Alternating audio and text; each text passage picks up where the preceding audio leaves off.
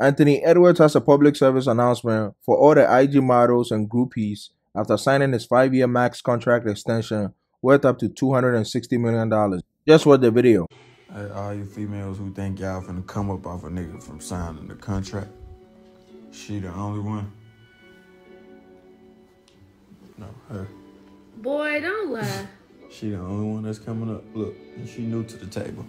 So I'm a little green for her. Everybody else, the light is the same color as my damn jacket. Hey, you talking about, feel me?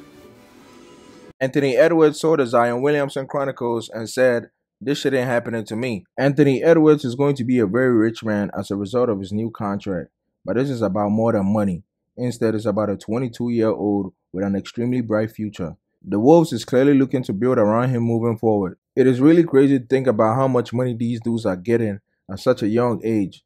Anthony Edwards is 21 years old and is already financially set for generations. And being that young with this much money comes with a lot of responsibilities, a lot of IG models, a lot of clout chasers, a lot of groupies who just want to be in your circle, not for who you are, but just to get some bread. In order to prevent another situation like Zion Williamson or Ja Morant, you really got to be on your P's and Q's because this type of money you don't want to give back. You just want to hold on to as much money as possible because you never know what, what could happen. Although he's a young player, Edwards has already spent three seasons in the NBA.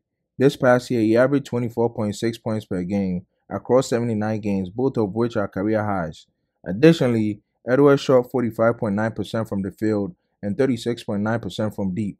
He also displayed improved rebounding and court vision prowess, averaging 5.2 rebounds and 4.4 assists per game. Timberwolves have a young superstar on their roster, and no one has to wonder if Karl-Anthony Towns might be traded at some point.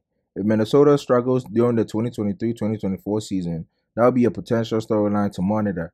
If they perform well, then perhaps Edwards and Towns can lead the Timberwolves to the playoffs and make some noise. But let me know what you think in the comments down below.